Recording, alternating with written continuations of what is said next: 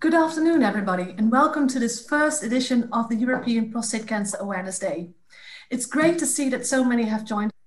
Um, we have had over uh, a thousand registrations, and that's far more than we usually have in the European Parliament. Um, since many, uh, we have limited the video and voice features for panelists only.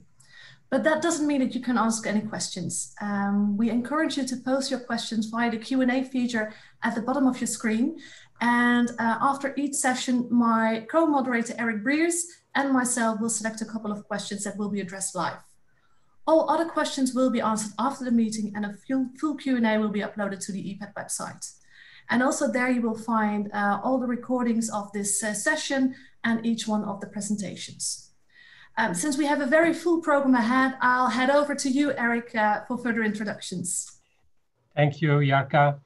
I'm, I thank the EAU to invite me to be a moderator because I'm a patient. And as a patient, the focus of this session, early detection, is really close to my heart. And I am an example that uh, early detection can be successful. 19 years ago, I was 50. Just a dirt cheap and simple PSA test that detect issues with my prostate, which in six months led to the discovery of a high risk prostate cancer. It was successfully treated by surgery by one of the panelists, you can guess. And since then, I have a good health.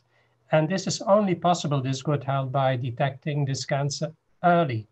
But for that, we have to go through this effort. And that's why this meeting and this uh, uh, group of excellent speakers are so important to bring us to what we hope will be introduced very soon, which is early detection of prostate cancer. So I now hand over to our two MEP chairs because they will introduce our speakers. And this is Tiemo Wölken and Tomislav Sokol. So I hand it over to, the, to Tiemo. Okay, hello everyone. I hope you can hear me. So um, I'm very happy to be able to co-host this event uh, tonight, and I think it's inexcusable uh, that very little is performed at EU level for this uh, very common cancer. 450,000 European men are diagnosed each year with this, and 170,000 men are dying from it. So having personally led the uh, the Let's Talk Prostate Cancer in initiative on advanced prostate cancer and heard firsthand from patients uh, about all the serious and life-changing challenges associated with this condition in this later stage, both for patients and their families, it is really valuable to have this event on early detection. Early detection means this condition can be cured or managed without un, uh, unbearable side effects, and this must be included in the early diagnosis work on the EU cancer plan. Uh, Professor Hein van Poppel from the European Association of Urology will start the first panel session and, the set, and set the scene for us on why uh, early detection of prostate cancer is so important. Thank you, Tiemo. And also thank you to uh, Tomislav Sokol for hosting this meeting. Uh, I'm happy to setting the scene and actually telling the sad story of PSA. Uh, indeed, I believe that as uh, Tiemo just mentioned, prostate cancer in our society is really an important and prevalent disease. It is the most common male cancer one in seven men in Europe will develop prostate cancer before the age of 85. And before we had PSA, and PSA is actually a protein that we can sample in the blood where it does not belong because it belongs in the sperm and in the ejaculate. But before we had it, one out of three up to one out of two men died of it. And in 2018, I said before 107 men died. So it's not a non killing disease. And PSA was introduced in the 80s, and you see immediately what has been the consequence. For a certain while, there have been many, many prostate cancers detected, while in general, you see after this initial increase of overdiagnosis, there is an increase indeed in prostate cancer incidence. But at the same time, after a couple of years, you see that the mortality is coming down. So when prostate cancer could be detected early, mortal, mortality will be less. And you see, if you compare to all the different other cancers listed here, for instance, bladder, how has the mortality uh, gone since a couple of years? It has about not diminished, while in prostate cancer, no cancer did actually better in changing the mortality rates. So we know that early detected disease can be perfectly cured. The treatment of early disease has less side effects. If you need to operate or irradiate a larger tumor, you have obviously more side effects. So the patients detected early have a better quality of life, will suffer less incontinence and impotence, and the cost is reasonable, in total about 25,000 euros. If you come to more advanced disease because you detect the patients too late, you will have more side effects, poor quality of life, and often it does not cure. And for the last two to three years, it will cost to the health uh, services 250,000 euros. So, but PSA actually has become victim of its own success because it diagnosed too many cancers. And so testing was discouraged. And it was told very commonly, you will die with prostate cancer, not from prostate cancer.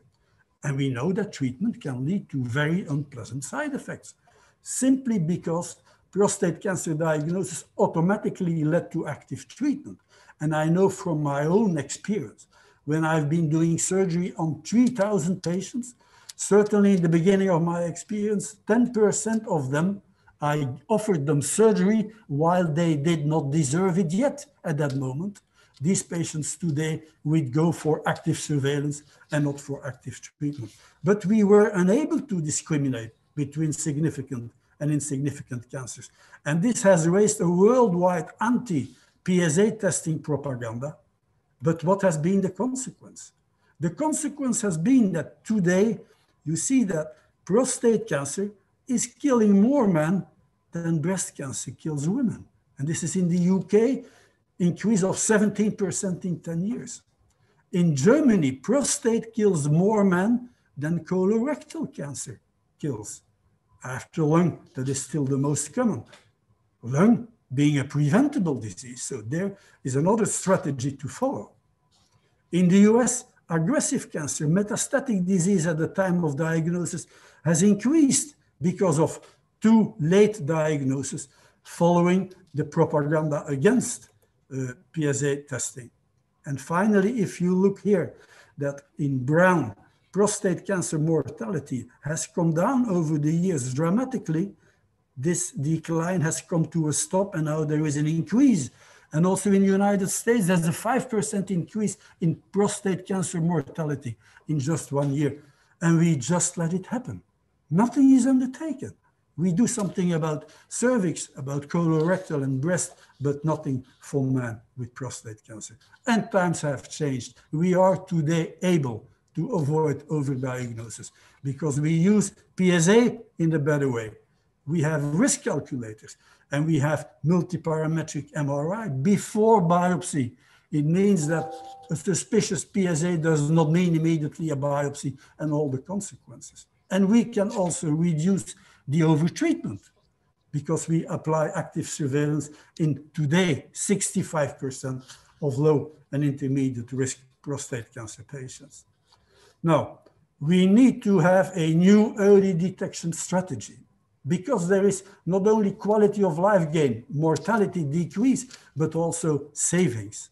While a PSA costs 10 euro, multiparametric MRI 136, this is Belgium. It might be more expensive, uh, for instance, in the UK and in Germany, but it's, it's not outrageous. Early detected disease can be treated for 15,000 euros.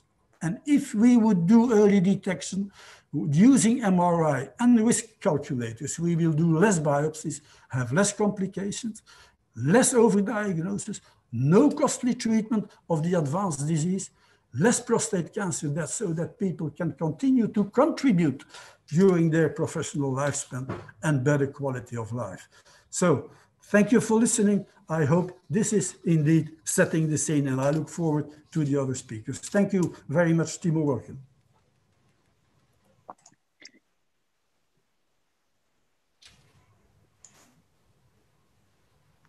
Yes, thank you very much for this introduction. And uh, I uh, have seen my colleague, so uh, we will change the order of speakers slightly. And I now uh, give the floor to Mr. Sokol, uh, one uh, colleague SMEP, for his um, yeah welcome address. And Tomislav, the floor is yours.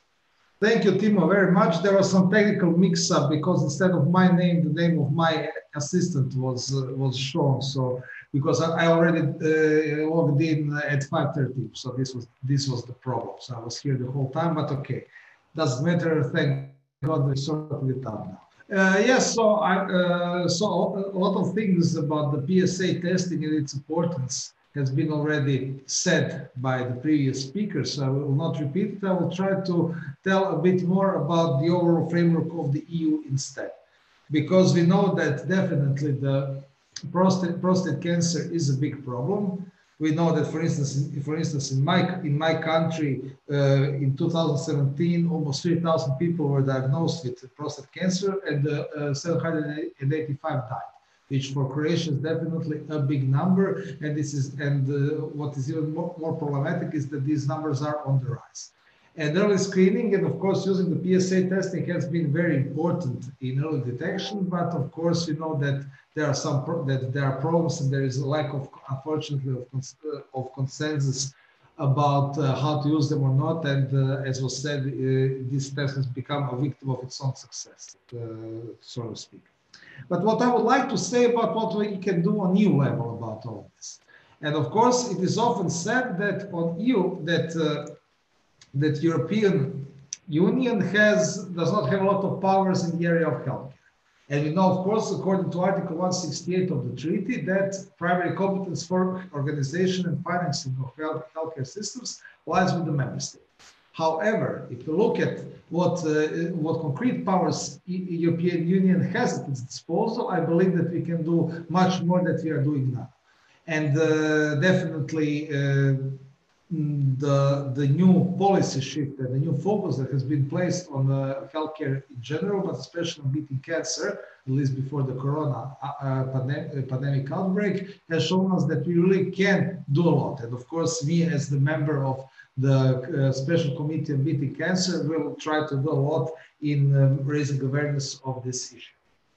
So what, so that, so what is important? I believe that what, what is crucial is that uh, we take on a holistic approach on how to battle cancer in general and especially prostate cancer. Of course, we as the European Union cannot impose binding legislation and force member states to adopt the, uh, a special type of campaign of raising awareness but we have at our disposal a lot of other instruments which can be used to support member states and provide incentives for the member states to, to, uh, to adopt uh, the necessary approach. And one of, and definitely one of these uh, one of these instruments is the new EU for Health program. As you probably know, uh, the last health program of EU in the previous seven-year budget was uh, was was at around 450 million euros, but now we, as Euro parliamentarians, have been able to to, uh, to raise this amount to 5.1 billion euros. Of course, the additional uh, the initial the initial proposal was even larger to raise it to 9.4 billion euros.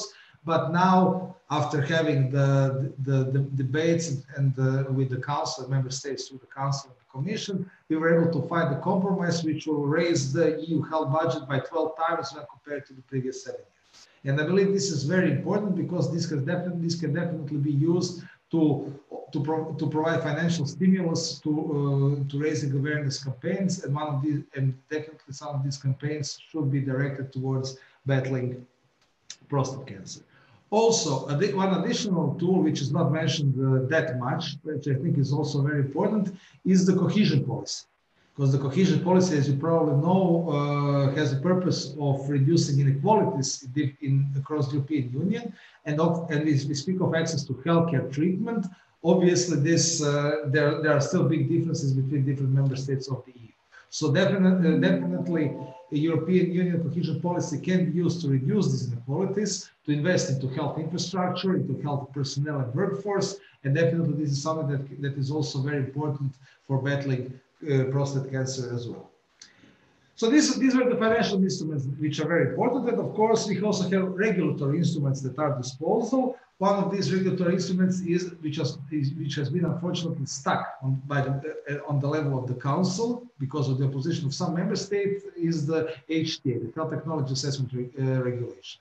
And believe, uh, believe that this piece of legislation is crucial in terms of setting the criteria and benchmarks for for introducing new treatments and new medicines and uh, new screening methods, for instance, within the national within the national healthcare systems. So I hope and I believe that this HTA regulation will also be adopted. I believe that this will be a definitely a big step forward in terms of providing better healthcare to our citizens. And also, apart from the treatment, apart from prevention and, and early, early diagnosis, what is, I believe is also very important is the aftermath. So what, so what happens with the survivors? And of course, you know that, that cancer survivors in many cases uh, face discrimination and face big problems in terms of, for instance, access, uh, access to, to insurance and things like that. And, and this is something that definitely uh, should be remedied by the European Union. And actually, this area, the rights of survivors, the so-called right to be forgotten, not to be discriminated against because of having having the cancer before in the previous time period is something where EU actually has clear legislative competence to do it because we have European Union rules on, for instance, on insurance, which can be amended to introduce this this right to be forgotten rule. So definitely, so this is one area where we can, where we, where we as the European Union can do a lot in terms of uh, influencing national healthcare policies and uh, providing better treatment and better aftercare for, cancer patients and for patients who are who, who suffered from uh, prostate cancer. So to sum up, I'm, I'm, I'm honored that, you, that, uh, that uh, I'm uh, part of, part of this conference. I'm glad that we are also using these possibilities to raise awareness about this topic within the European Parliament and with the general public. And I believe that we as, as members of European Parliament can do a lot in term, within the already existing EU competences to provide better, better prevention, better screening, better early detection, better treatment, and better aftercare for all the cancer survivors, and especially for prostate cancer. And I will be, and what what is important that what we will try to do also is to listen to the to to science, to listen to experts. We are doing this already within our uh, BECA committee, the committee on, on battling cancer, and I'm glad that we are having these kinds of discussions for, uh, for us to also hear what the main problems are, where, where still there is lack of consensus, and to try to get all of the opinions to make uh, relevant policy decisions. So thank you very much for giving me the floor. Thank you very much. And uh, we are happy that you're here and as the rapporteur for the uh, HTA file. I'm happy that you mentioned this very important uh, instrument. But now I think let's have a look at the research side. And I think research on uh, this topic is very crucial. So I'm very happy to have uh, Professor Monique Roobol, and I'm very sorry for pronouncing your name, uh, here with us, who has spent uh, the last 20 years uh, researching prostate cancer. She is based in the Erasmus University in the Netherlands and is a principal investigator for the European randomized study on of screening for prostate cancer uh, which is the largest ever randomized study on screening for prostate cancer. So we are re really happy to have you here with us, and I'm now handing over the mic directly to you. Thank you. Thank you, and good evening to all listening uh, to this very important uh, session. My name is, as said, Monique Roobol. I'm a professor in decision making in urology, and I'm working at the Erasmus University in Rotterdam and in the next seven minutes, I will try to give you an overview of the effect of PSA-based screening, prostate cancer, incidence, morbidity, and mortality. So first, let us go back to the early 90s, when prostate cancer was considered a deadly disease for many men diagnosed. In this situation that has driven urologists to search for earlier and better methods of detection. And please be aware that if we now should stop this, this work on prostate cancer screening, the situation will soon be reflective for contemporary daily clinical practice again.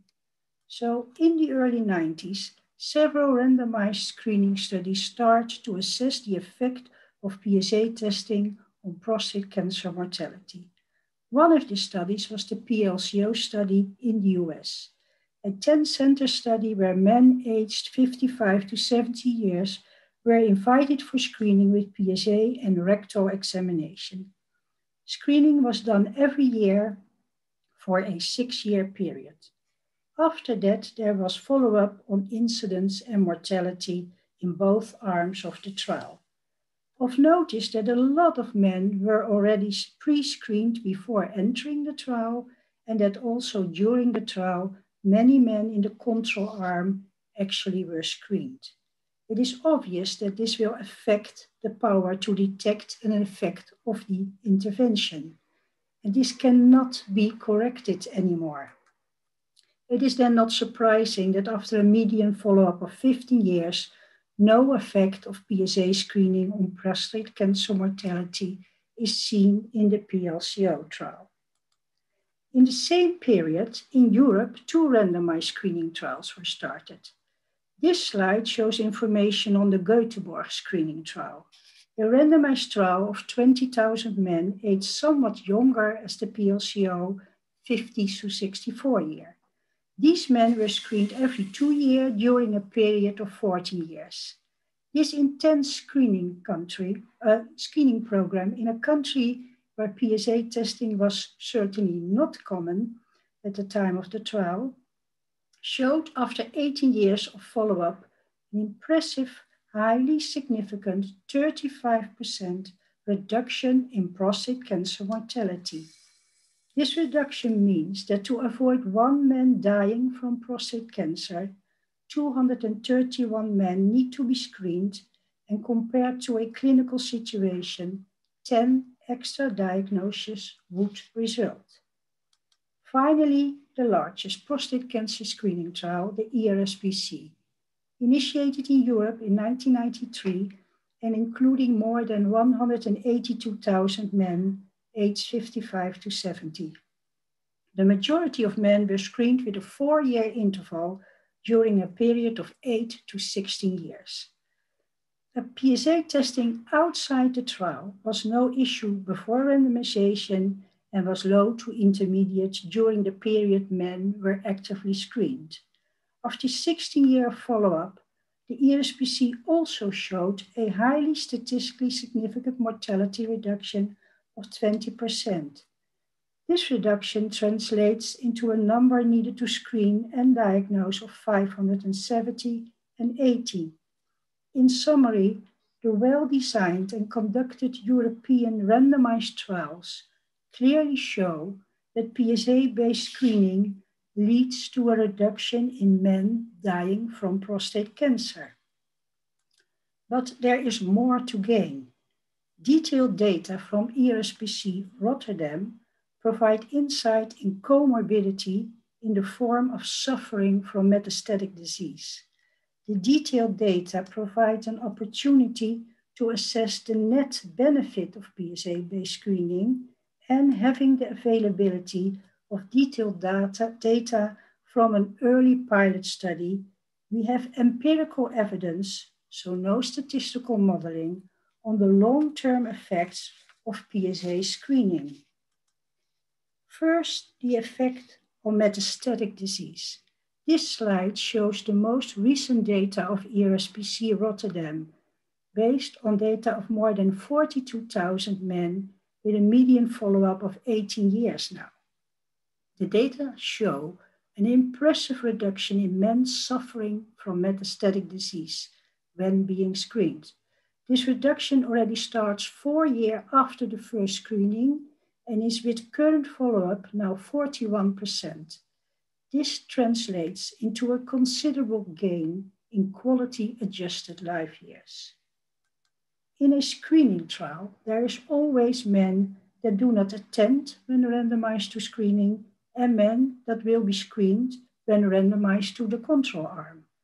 ERSPC Rotterdam knows this so-called non-attendance and contamination at an individual level, which enables us to calculate the net benefit of screening. Comparing both groups according to their randomization status results in ERSPC Rotterdam in a mortality reduction of 32%. Correcting for non-attendance and screening ongoing in the control arm, we get the net benefit of PSA-based screening, which is impressive. Prostate cancer mortality in men screened every four years over a period of 12 to 16 years is half of the mortality of men not screened at all. Many prostate cancer deaths can be avoided if this data is extrapolated to the European Union. Finally, a cohort that started screening already in 1991. Although small in size, the data confirm our observation of the large ERSPC trial. Here, a 53% prostate cancer mortality reduction and a 58 reduction in men suffering from metastatic disease, where again, the effect on less metastatic disease is obvious early after screening. Effect on mortality reduction is as expected three to four years later. This data mean that a few conclusions can be made without any doubt. Data from the pre-PSA era show that prostate cancer is a disease often related to a lot of suffering over a considerable time period. Two out of three men died of their disease. Organized screening with the use of the PSA test reduces suffering and dying from prostate cancer and potential harms in the form of unnecessary testing, overdiagnosis, and overtreatment can be largely avoided with the current knowledge and tools. So, to summarize, it is time to organize all relevant stakeholders and start implementing our knowledge to avoid further suffering and lives lost. Thank you.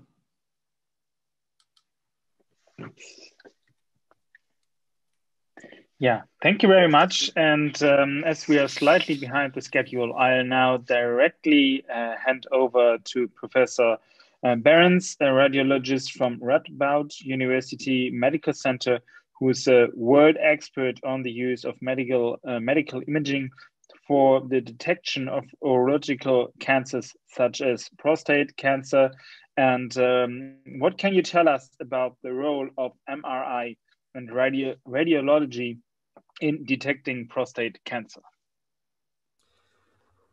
Thank you very much. Um, well, let's first have a discussion, uh, a quick explanation what actually is multiparametric MRI. Multiparametric MRI is the integration of three techniques that help each other. The first technique is anatomy, also, also called T2 weighted imaging. This, this shows the structure of the prostate just like a drawing. The only difference between the drawing and the MRI is the color. You can see a detailed anatomy in the peripheral and the transition zone in this axial prostate projection. The second thing is we need something to differentiate cancer from hematoma, from inflammation, and from benign hyperplasia. Because on the anatomic images, all these structures are gray. And this second technique is called diffusion weighted imaging, showing the biology of prostate cancer and normal structures. In low-grade cancer and normal structures, there's a lot of space in between the cells. And that means that um, the velocity of water is high. Whereas in cancer, the cells are tightly packed and there the velocity is low. And on the so-called ADC map, you can plot this speed. And when the speed is low, it's black. And this means high cell density. And this means cancer. The other technique we have is contrast. If you give contrast, cancer enhances, but also normal, uh, sorry, prostatitis and normal benign hyperplasia. So this is a very sensitive technique, but not very specific. And the combination of these three techniques uh, give the diagnosis. Why should we use prostate MRI? Four level of 1A evidence papers showed that we have to perform MRI before biopsy. These are the four papers. And let's zoom in into this one, the Cochrane Library Analysis. A lot of patients, many studies.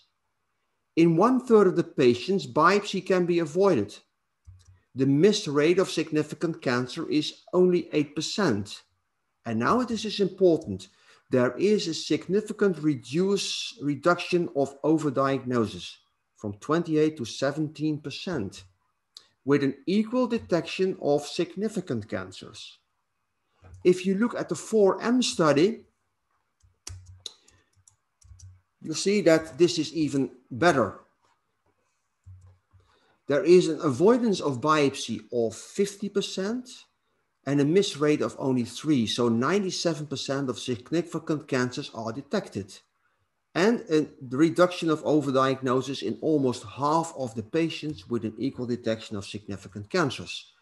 These resulted in a change of the EAU guidelines in 2019 that prescribed prostate MRI to be performed before biopsy. Now, what is the potential role of MRI in early detection? As you've heard by the previous speakers, there is a clear no to PSA based screening. Why? Because there is a lot of overdetection, too many biopsies, and this is um, a lot. Uh, so the, the, the, the bad things are a lot um, more than the mortality and the morbidity reduction. Now, if you now combine PSA with a risk calculator and MRI, this certainly will make the balance better. So PSA followed by the risk calculator can be done by an iPhone and the MRI, the manogram, is the technique, are the techniques for the future. Now you can see that the pros are a much higher compared to the contrast because of the reduced overdetection and reduced rate of biopsies. What are the challenges of early detection programs? First, the reading must be optimized. Well, this has been done by the introduction of the PIRADS system. Second, you have to enable good quality MRI. Good quality MRI need to have quality control programs. And this is the first paper recently published in European Radiology that made the first step towards quality control in prostate cancer MRI. Also, there need to be a focus on the learning and the certification by urologists and radiologists. Unfortunately, this is happening. This was before the time of COVID, but now a lot of webinars are presented as well. Now, how can we scan all men? First of all, we need to reduce the number of sequences. So a fast MRI protocol, the so-called manogram. You can do within 10 minutes, you can do the MRI with the cost of lower than 100 euros. Second, if we apply artificial intelligence for the diagnosis, this will help to report the high burden of prostate cancer MRIs for the radiologist. Now, if we want to prevent the harm of no or of an opportunistic screening, then we need to set up an early detection program in the EU. And with risk calculators and MRI, this becomes possible. What do we need to do? First of all, we need to standardize and synchronize the data within the EU. Uniform data sets. We should collect these data sets and have them freely available for industries which want to test their artificial intelligence and other improving techniques. And third, we need to set up a multi-country prospective trial in Europe in men who have an elevated PSA, risk calculator, followed by MRI if positive, and then biopsy if positive, and all the negative men will have a follow-up of a safety net. This is the new proposed scheme for a multi-country prospective trial. And now the answer of is early detection of prostate cancer possible? The answer is yes, we can. Thank you for your attention.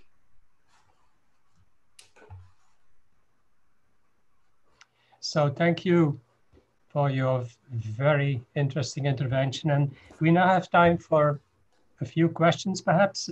Please use the Q&A for your questions and don't forget, those that cannot be answered here today will be answered on our webpage. So first question goes to uh.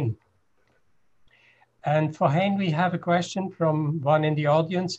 He is asking one of the big questions, which is how can we get our general practitioners to go for early detection and to use PSA? I think this is an absolutely relevant and important question where we need to give an answer. And you know that we have recently taken contact with WONCA, which is the World Organization of GPs, because there is still a lot of reluctance in many countries where GPs refuse to take PSA sampling in their patients, even if they ask it for having PSA tested. Uh, the fact is actually that it is still around that PSA leads to uh, overdiagnosis and treating of patients that do not deserve treatment, that would not die from the disease and never suffer from it. But as I have shown you, the, uh, the propaganda against this PSA testing has led to an increasing mortality. And this is what GPs today need to know that the latest update, epidemiological update from uh, big countries like Germany, the UK, the United States, you see that the mortality is increasing. The number of too late diagnosis increases, and this will be reflected in and, and more and more people dying from prostate cancer in the years to come. So we really need to make them aware that we cannot continue just watching it and not doing anything. And therefore, early detection using the modern tools is probably the way out of it. Thank you for the question. Thank you, Hein. I have a, short question, perhaps for Monique, because we always want to detect prostate cancer, but the best way is not to have prostate cancer. Are there any ways to prevent prostate cancer? Sorry, there are certainly studies ongoing uh, for the prevention of prostate cancer, but these are preliminary and it, it turned out to be very hard to prevent prostate cancer we know that there are risk factors associated with prostate cancer, mainly related to diet. And there are studies known that people that uh, emigrate to countries where a lot of meat is eaten, that suddenly there's a rise in uh, prostate cancer incidence that is mainly related to red meat. And also we know if we look in Europe, where we have uh, a difference in incidence and mortality going from the north of Europe over to the south of Europe, there's a decline in incidence and mortality going south. That has to do with uh, the diet being, uh, namely the tomatoes. Uh, so we have done some dietary studies, but it is extremely difficult to get real hard level one evidence on that. So for now, in the case of prostate cancer, uh, I think uh, secondary prevention screening is the way uh, to go. Yes. Thank you. Thanks, Monique. That's very interesting to hear. Um, something to watch for later. Um, we are a bit in a tight schedule, so I'll quickly hand over to uh, Tiemo Wölken to introduce the next speaker. Yes, thank you very much. And uh, I'll directly hand over to André uh, on behalf of uh, yeah the um, European Prostate Cancer Organization, Europa Uomo uh, to take us through the first patient driven study on quality of life. So the floor is yours.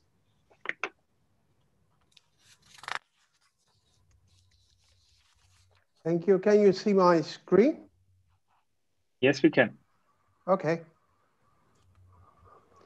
Well, uh, I'd like to give you an overview today what the real effect of treatment in prostate cancer means for patients. First of all, I'm André Deschamps. I'm the chairman of the Patient Coalition Europa Uomo. I'm a patient as well. And also like Eric, uh, I thanks my life that I'm sitting here is because I luckily detected my prostate cancer early.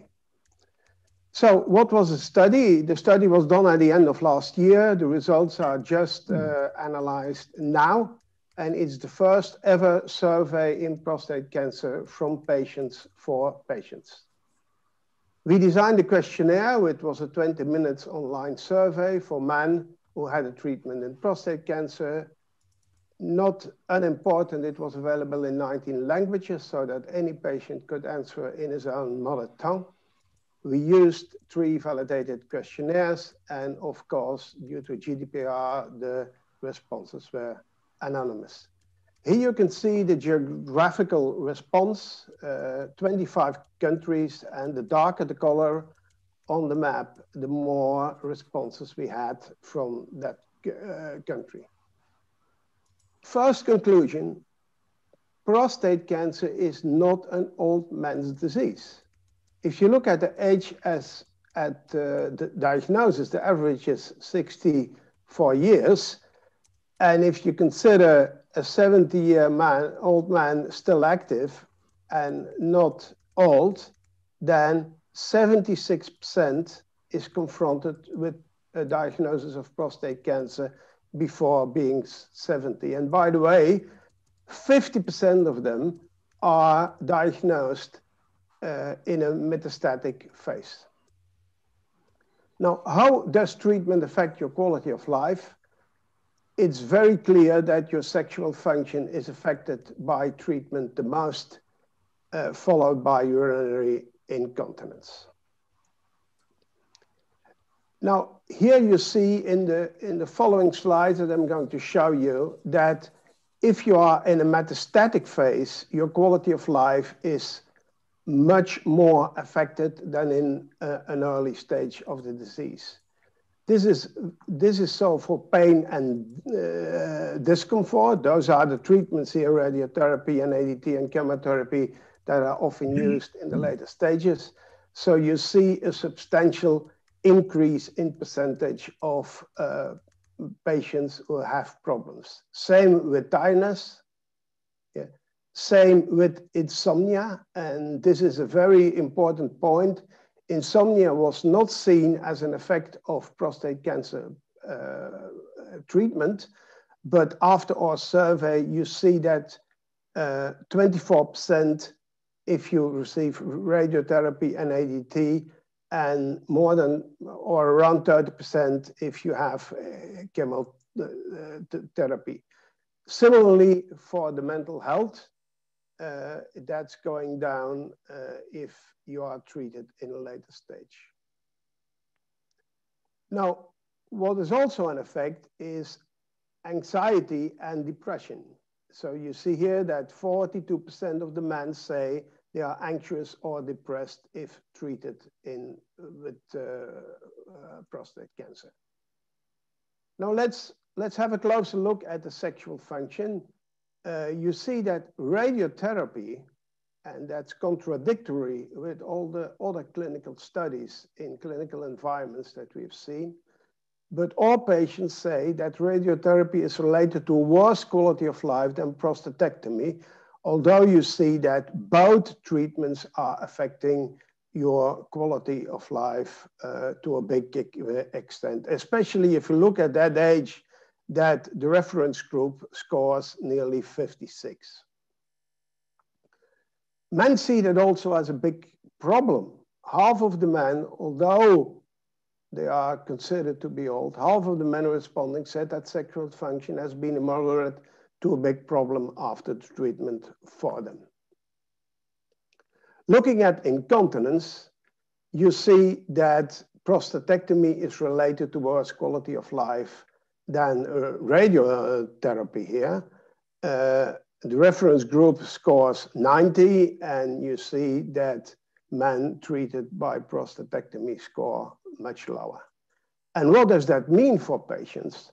Well, 37% of men use one or more incontinence pads every day after treatment for prostate cancer.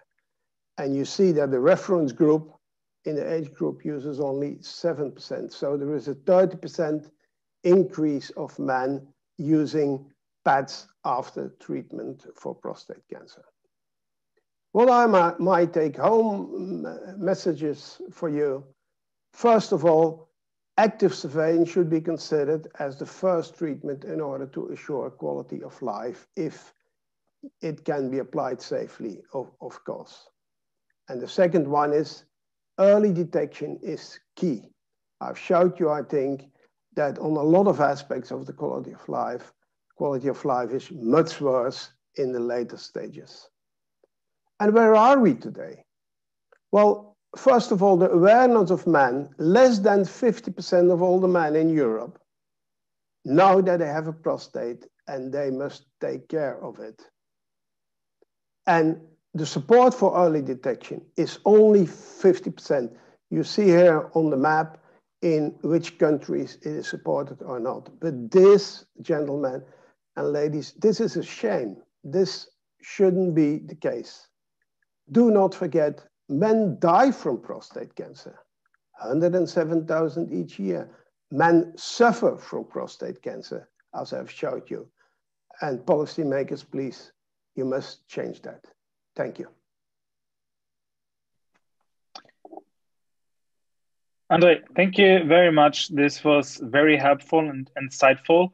And I will now give the floor to Sarah from Movember, which is a charity that holds a mustache growing event during November that raises fund and awareness for prostate can cancer and men's health.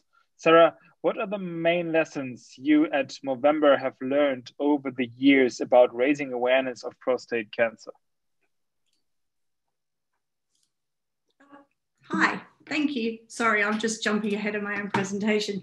Um, Hein and Sarah kindly asked me to join you today. It's a slight change of tone um, to talk about Movember and the role we play, I guess, in changing the face of men's health in our fine month that is November. You hopefully have seen some sporting moustaches around you over the course of the last couple of weeks. Um, why do we get men to grow moustaches around the world? Because men die six years earlier than women. Um, and we know, as has just been discussed, prostate cancer is one of those largest killers, with nearly 10 million men today living with prostate cancer around the world.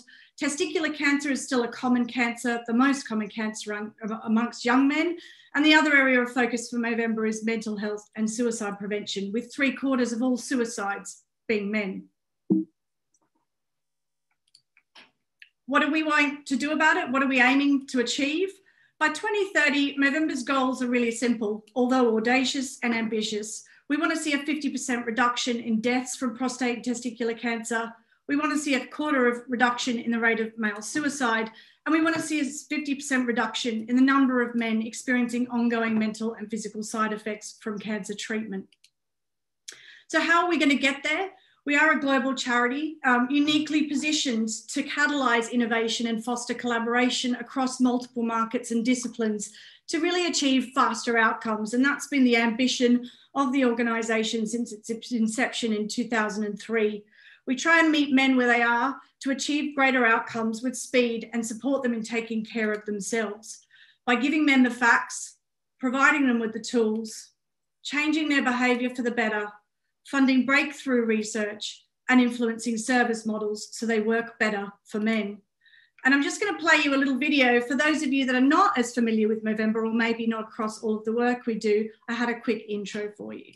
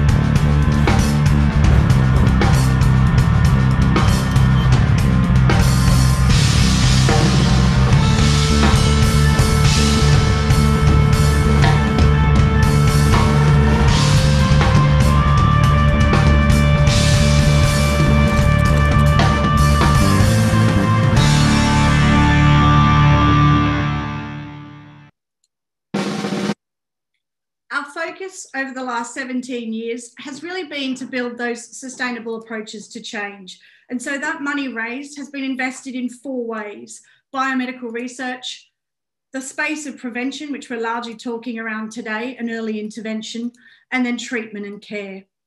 And I guess I, I wanted to take the, the short opportunity to really talk firstly about the, I mean, obviously there's the, the money that's raised has done a fantastic um, amount and, and we're joined today with some, some of the researchers who've been funded by Movember over the years.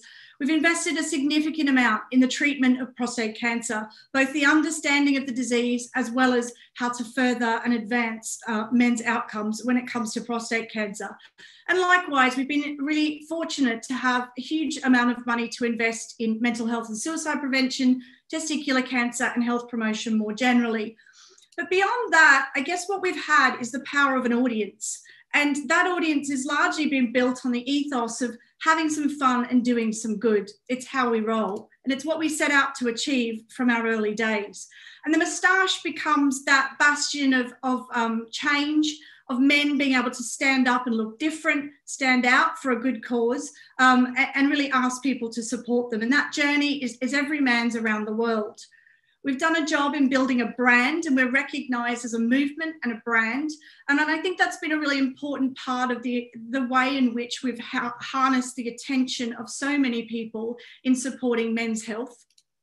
And we've had a lot of ambassadors, and those ambassadors become role models for change. Men who are willing to stand up and say the current status quo is not good enough when it comes to men's health. So all of that fun is really how we lead. And then I kind of wanted to give you a quick couple of examples as to how we then take that fun and we convert it into real change uh, and, and effect for, through our community. So once people sign up at Movember.com and they make that commitment to grow, we then serve them up language and messaging with, to arm them through the month because people are going to ask them why they're growing, um, why grow a silly looking moustache in November. And so giving them key facts and information and action has always been a really important part of that. So right up front, our key messaging is very much in the space of, of early intervention, early detection being key giving men those straight up facts they need to know about the risks they face, being either that being age, ethnicity, or family history, and I guess what I was really keen to understand, um, having been around since the beginning, was are we are we making any change here? Are, are the men who are participating actually doing the things we wanted them to do? So this year we actually undertook a bit of a global survey. We did um, a cohort of our own community of men, and we matched it against general population through a YouGov sample of about seven and a half thousand men. And whilst we can't prove direct correlation um, causation, sorry, we can show some early signs of correlation between men and the information we're serving them up throughout the month. We learned that our, our men, our Mobros, are more, are more aware of the risks they face of prostate cancer and have taken action to speak to a doctor about those risks with 48% of our Movember community um, taking that action over the, who are over the age of 45 versus less than 20% of the general male population. We see that our men, of them, 76% of them know that being over 50 is a major risk factor. 82% of them know family history is a risk factor. And nearly 20% of them know ethnicity is a risk factor. So, to the points made in some of the earlier presentations, arming men with the risks they face and understanding those risks is probably the first step in getting them to take action. We've been working um, over the last five years to really highlight to young men the issue of testicular cancer, and that really the, the matter is in their own hands to detect. And so, unlike prostate cancer, testicular cancer is a much simpler disease. It's a very clear diagnostic and treatment pathway. And so, our messaging can be really simple and fun here. We've been running a Know Thy Nuts campaign for five years within the Movember community. And again, those same survey results show a real uptake in that information and that change in action taking. So, we see 80% of our own community checking their testicles on a regular basis, which is a fantastic result.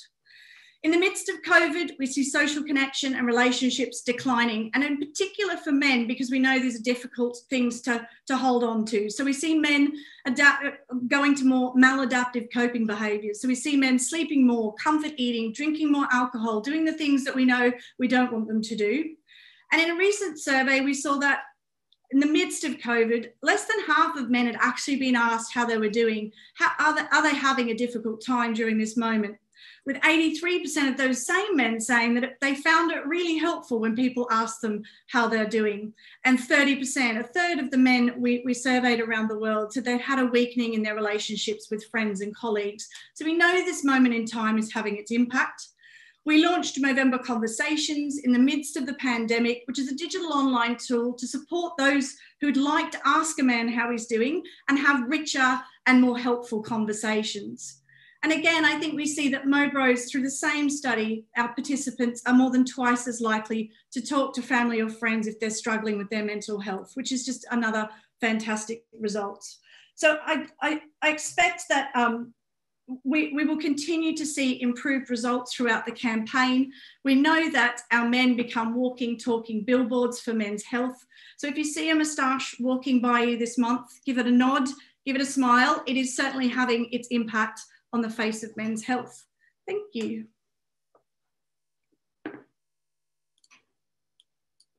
Thank you very much, Sarah, for these very interesting insights. And uh, this is very motivating for all, us, for all of us. And uh, now I would hand back to Professor van Poppel uh, with the following question. Is there an emerging scientific consensus on what we have heard from previous speakers? Thank you again, Tiemo. Uh, the EAU has been uh, putting quite some effort in the last years and uh, uh, to develop an algorithm for early detection which is acceptable for those that are sometimes against prostate cancer screening, also for those that are feared to get prostate cancer one day. And the initiatives that the EAU has taken first is to inform the patient.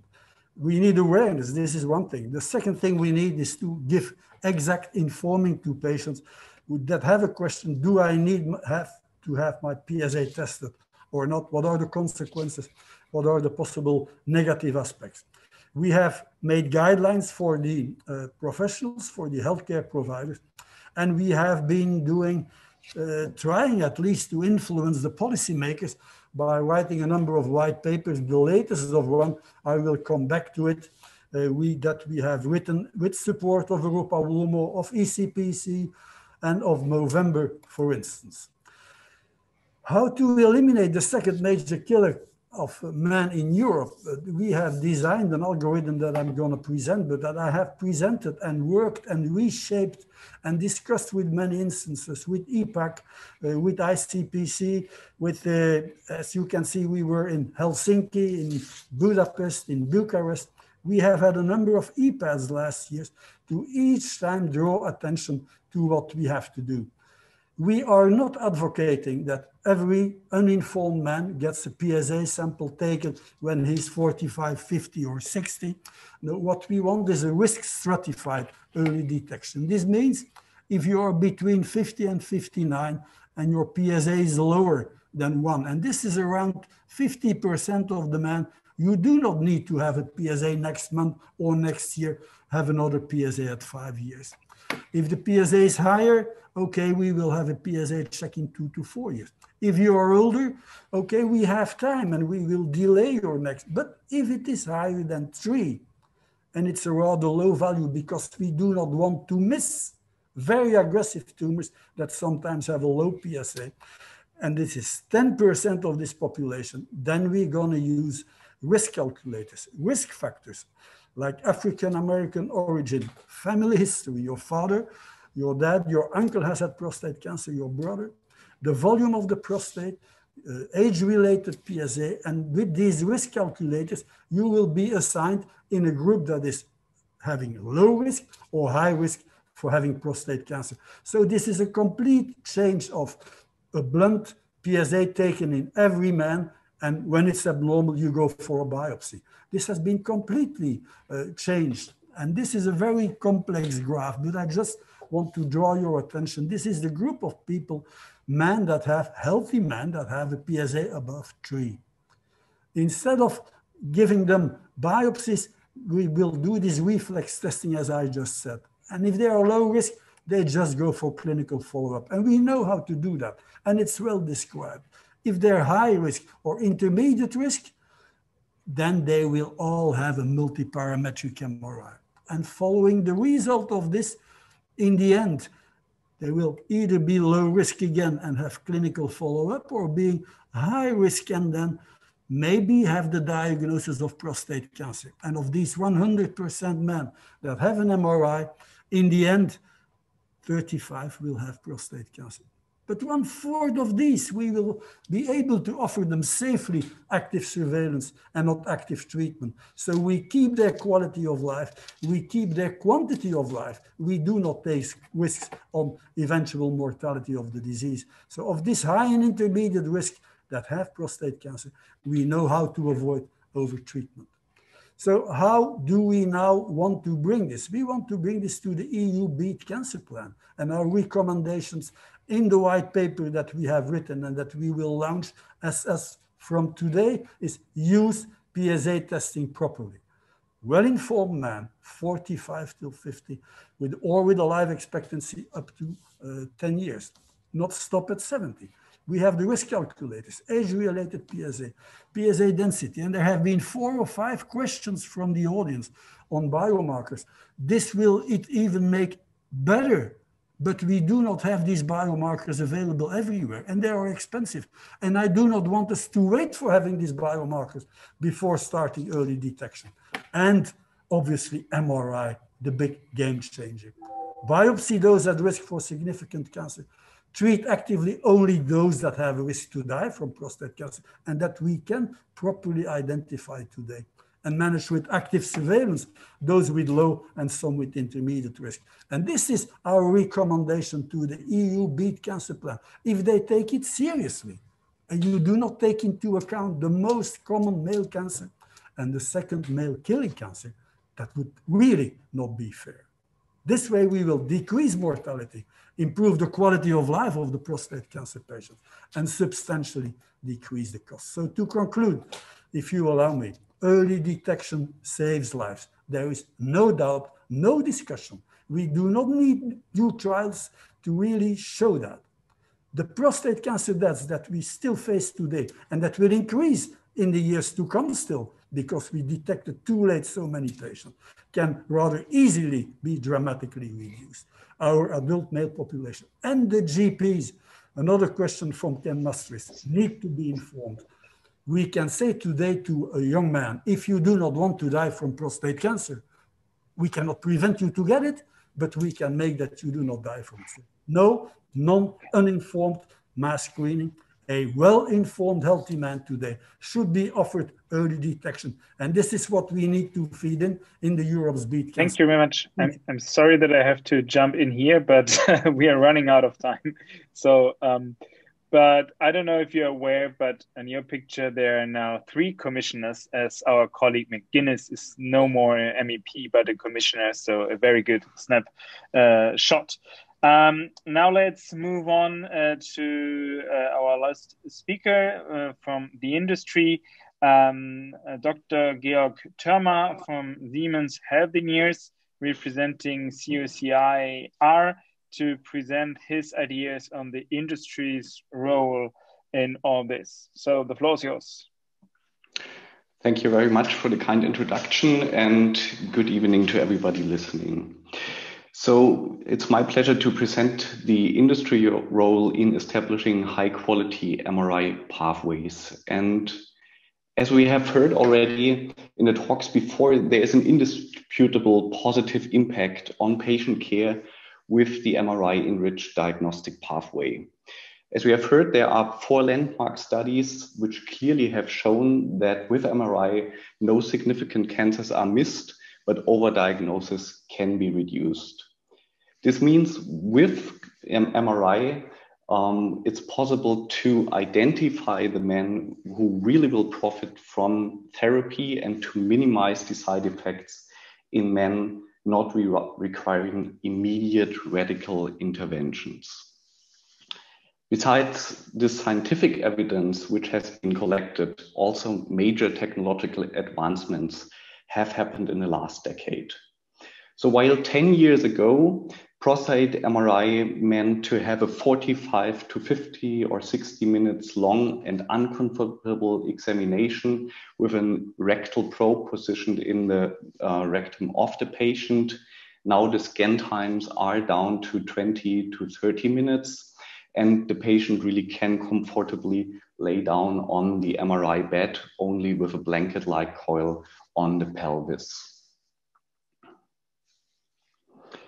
The scientific and technological advancements taken together already have resulted in a substantial increase of prostate MRI examinations performed in Europe as well as in the United States.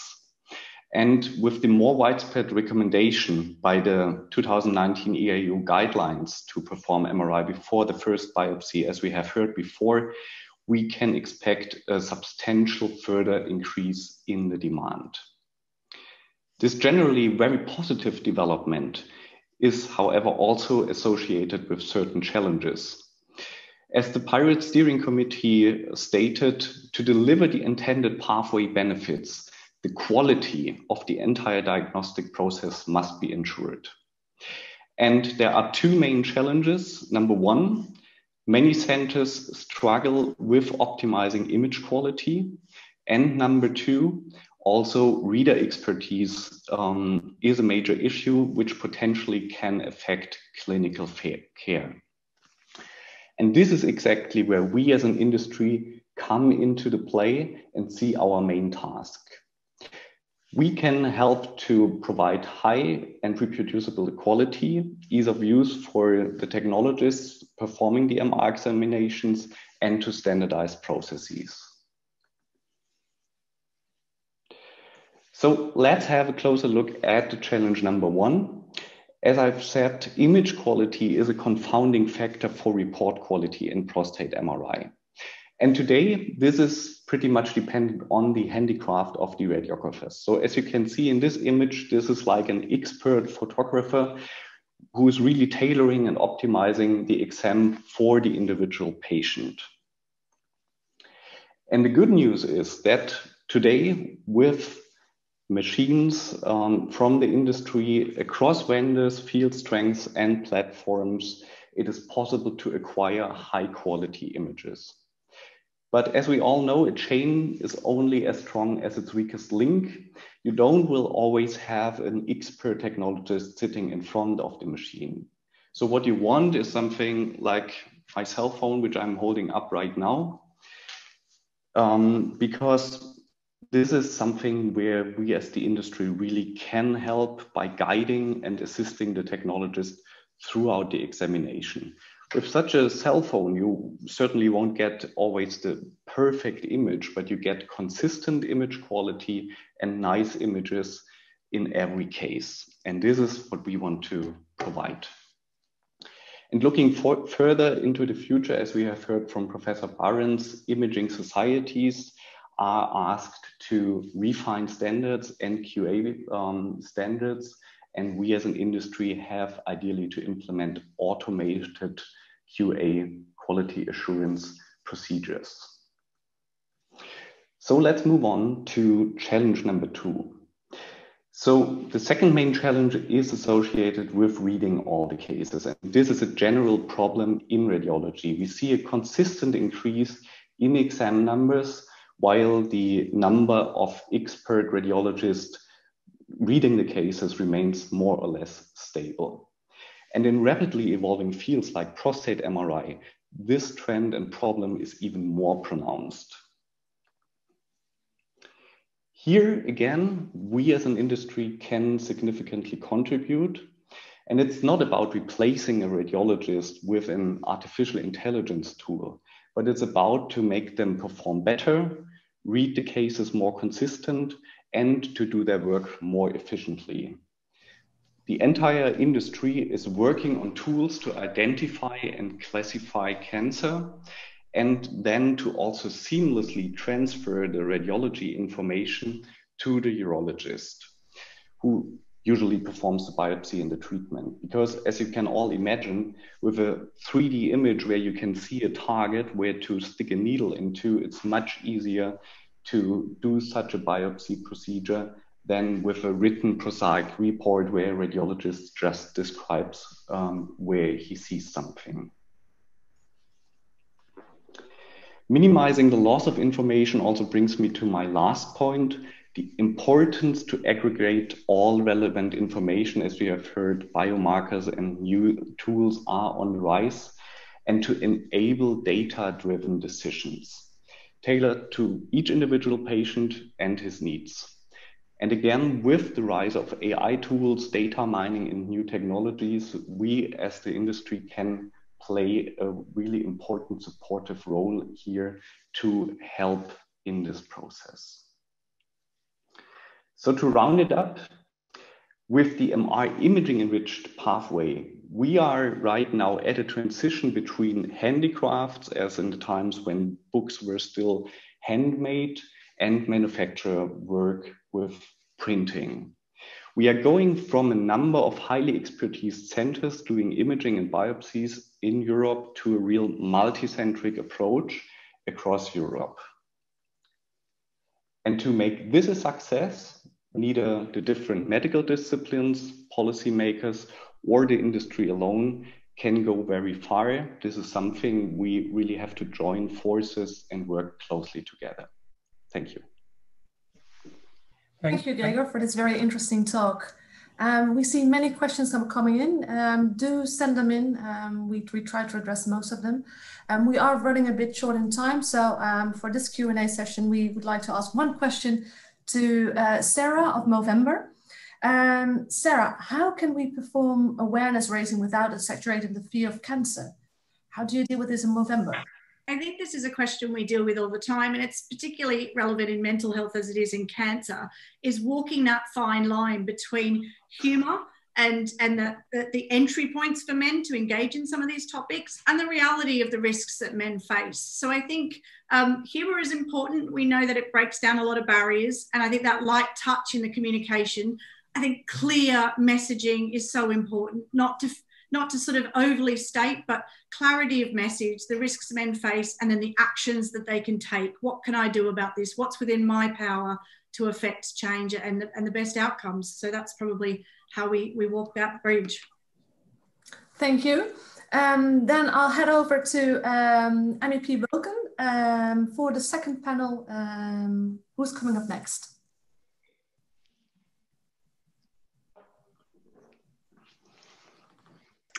Yes, thank you very much. Um, we now move on to hear from the European Commission, which is a very important player, as we all know. And uh, we are happy to have with us uh, Dr. Paolo uh, from the uh, Cancer Task Force in DG Sante. And um, please let us know um, um, if there are potential areas of opportunity for prostate cancer to be addressed. We are really, really grateful for uh, that we can have you with us today. So the floor is yours. Uh, good evening, colleagues. Uh, thanks a lot uh, for the invitation and thanks to the colleague for, for the really interesting, interesting presentation. I will give you a, a, a short presentation of the uh, Europe's uh, Beating Cancer Plan that has been uh, has been already quoted during the previous the, the, previous presentation. The EU Cancer Plan is one of the main priority and flagship initiatives of the European Commission in the area of public health.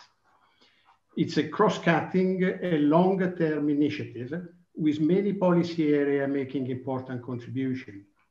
And despite the significant challenges posed by the coronavirus crisis, the EU Cancer Plan has remained the top priority for the Commission.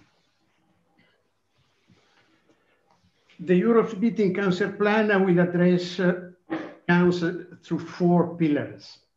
First of all, prevention, early detection, access to diagnosis and treatment, and the quality of life of cancer patients and cancer survivors. To design the plan will include a combination of measures with tangible and citizen-centered actions designed to make a difference to people across the EU.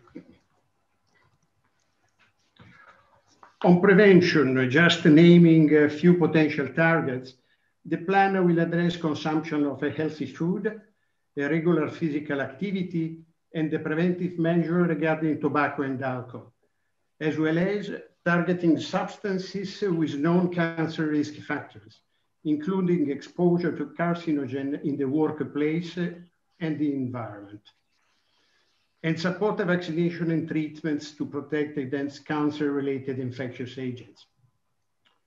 Through the focus on cancer prevention and lifestyles, the plan will also benefit other major non-communicable diseases. Cancer early detection is recognized as one of the most important targets of the plan that will provide new elements to strengthen recommendation on cancer screening and monitor the implementation of cancer screening across the EU. Indeed, in this regard, the new evidence and potential benefit of prostate cancer early detection will be under the radar of the plan. And the meeting and discussion, especially on the recent document that you have produced, are ongoing in, in, in the right direction. Strengthening the quality of cancer diagnosis and access to treatment including training and continuous education of cancer workforce, will help to ensure that an equal level of cancer care will be reached across the EU, reducing the current unacceptable disparity among and within member states.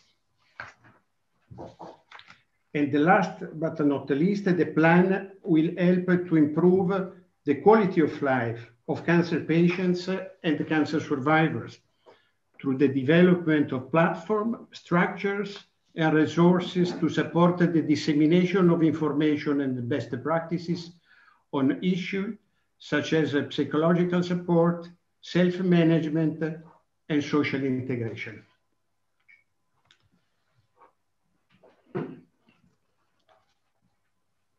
The EU Cancer Plan, together with the Mission on Cancer, will also look into the potential of data and the new technology.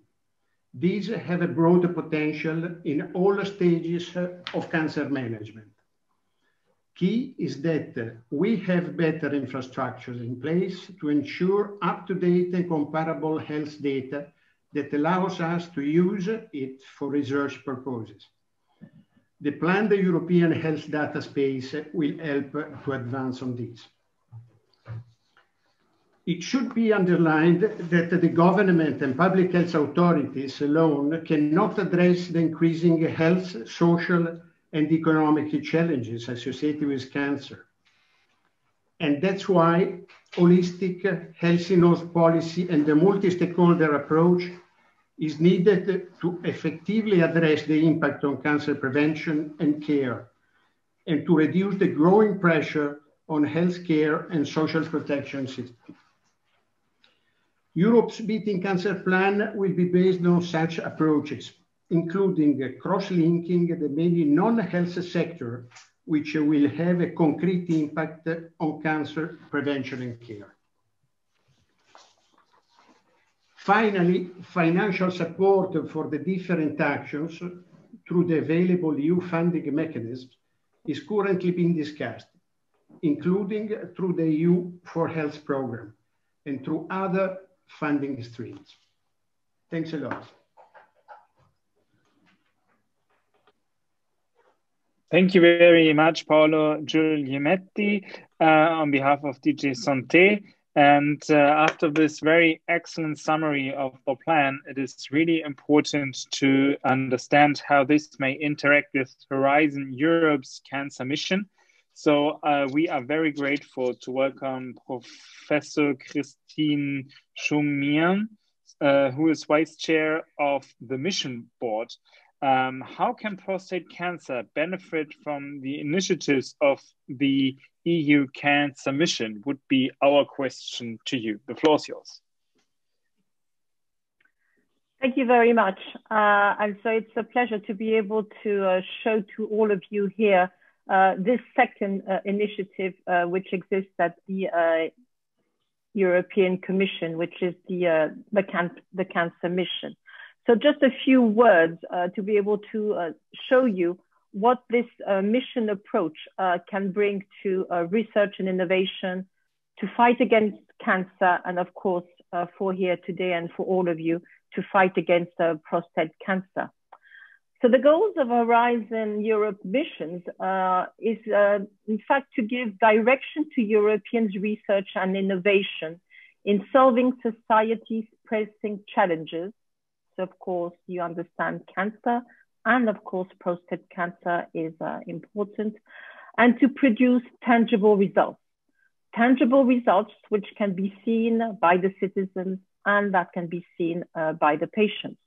And so in order to be able to uh, resolve uh, this issue, it is important to involve citizens and stakeholders more closely, right at the beginning, in setting research priorities. And you will see not only research priorities, but also very much uh, policy actions. And this will lead to equal access for everyone in Europe to the best of European innovation and research resources and global know-how.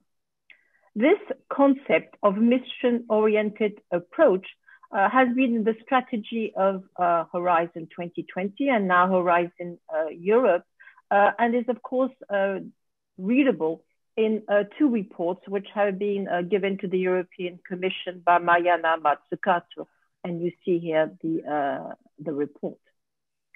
So five Horizon Europe missions have been installed uh, you can see right on top here, uh, which is uh, summarized as smart cities, healthy oceans, climate, healthy soils and forests, and one dedicated completely to cancer.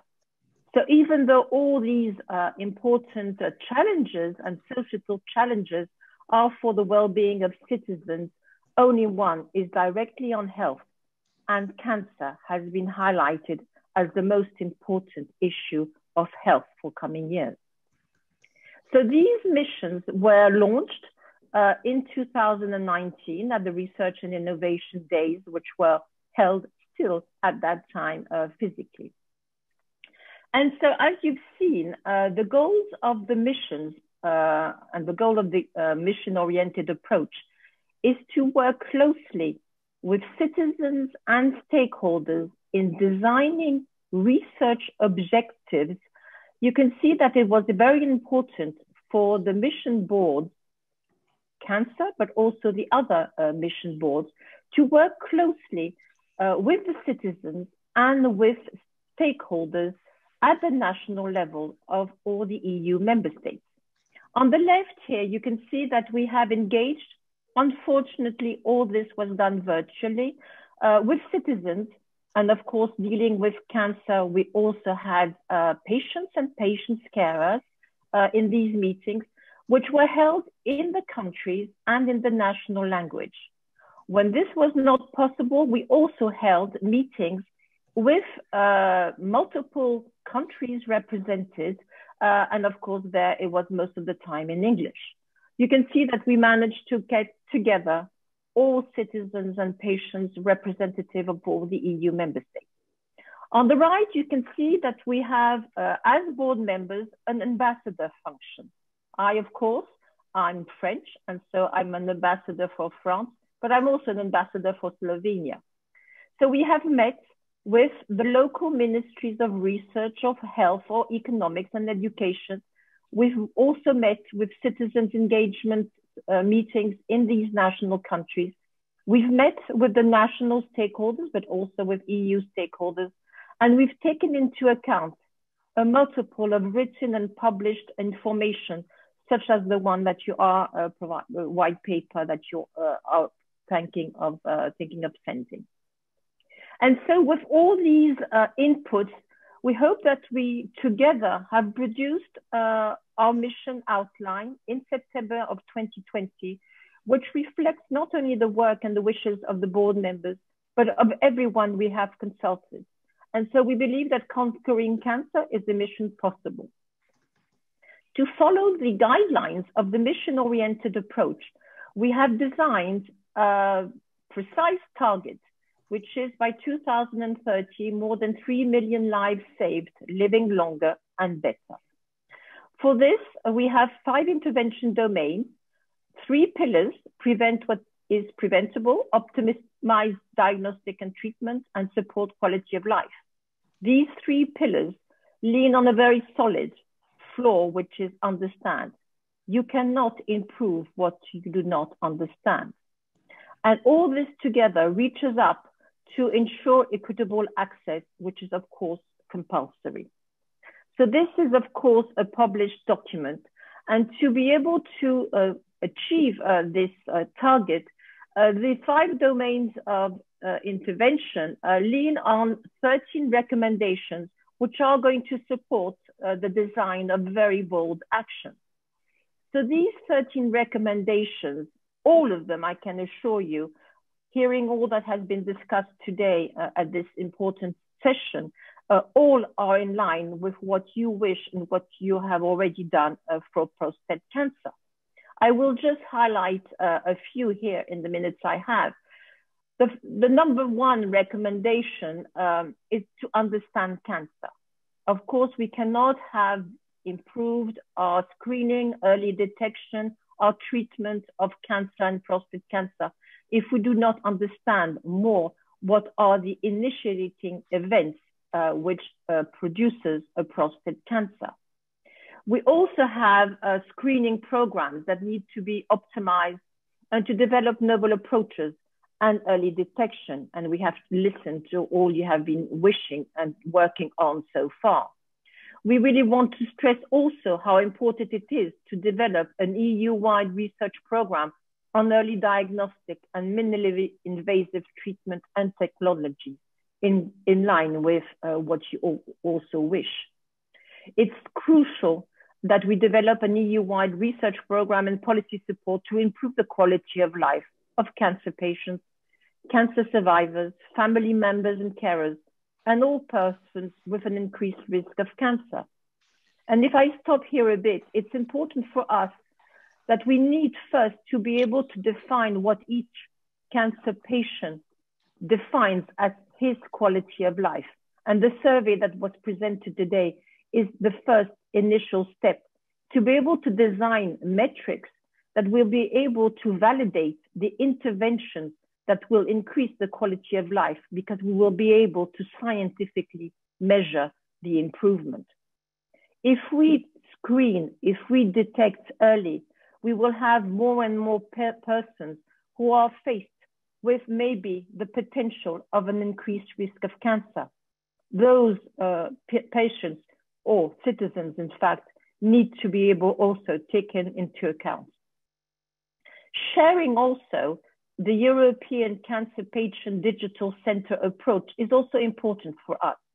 It's a mean for us, for the cancer patients to be able to have the tools and the uh, data which they will be using to be able to monitor. And I think that the disease, but listening to all of you here also, I've been listening to the word surveillance. And I think this tool will be also important maybe for citizens to be able to monitor this surveillance that you will be, that you have been describing. I will also just spend a few more times on the setup of networks of comprehensive cancer infrastructures. We believe that this should exist in all EU member states, and this would be the places where it will be necessary to collect the data, collect the training, collect the expertise in care and also in research. What is important uh, also of course, accelerate innovation and implementation of new technology. And I will finish by the need to transform cancer culture, communication, and capacity building. And I think that, of course, Movember and all your initiatives are important to be able to raise awareness, to raise it in a specific, understandable manner that everybody, every citizen can be able to understand. The capacity building is important throughout all these recommendations to fight and to conquer cancer. We will need more people aware, of cancer issues, we will need more people to be trained and to be able to perform research, innovation, and care in the best manner to be able to fight cancer. This is going to continue. The mission board's work is going to continue in the same manner to be able to continue our stakeholders meeting, to work together with the European Commission and the Directorate, with the members of the European Parliament, and of course, with the European Beating Cancer Plan.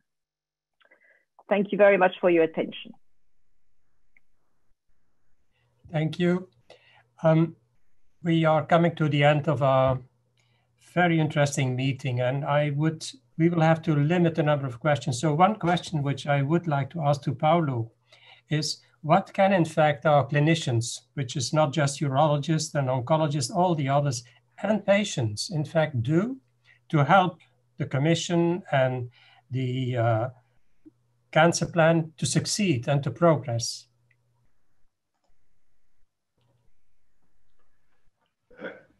yes, uh, from the very beginning of the designing of the of the roadmap uh, that has been presented in in, in February uh, this year, there was a continuous consultation uh, with the stakeholders, and the stakeholder included uh, also organization representing patients, cancer survivor, and citizens.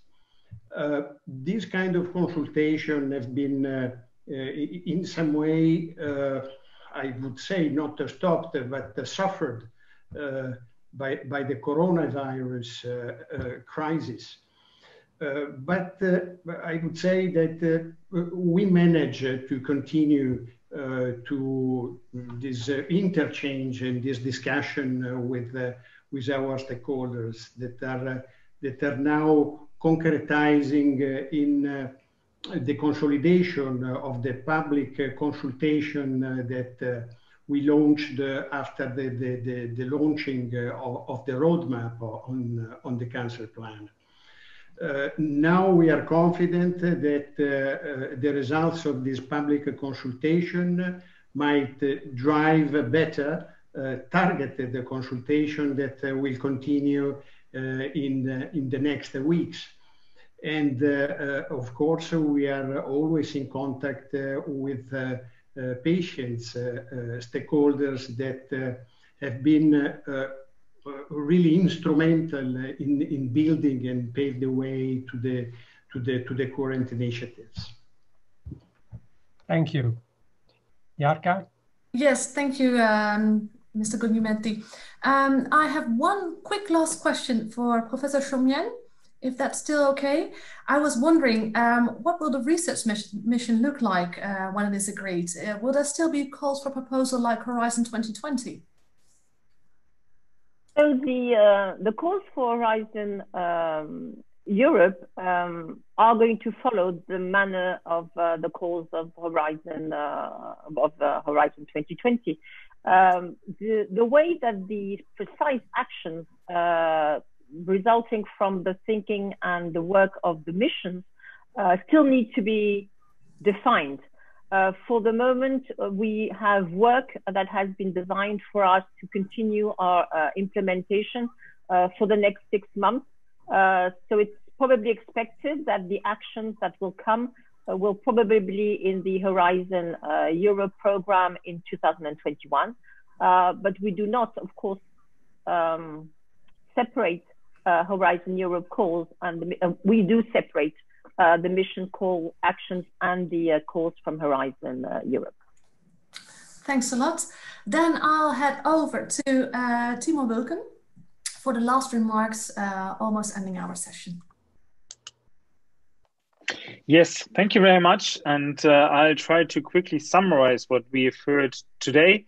Um, I think it is fair to say from what we heard today, the scientific, scientific evidence points to a review of early detection guidelines for prostate cancer across the European Union in order to save lives and raise quality of life of prostate cancer patients across the European Union.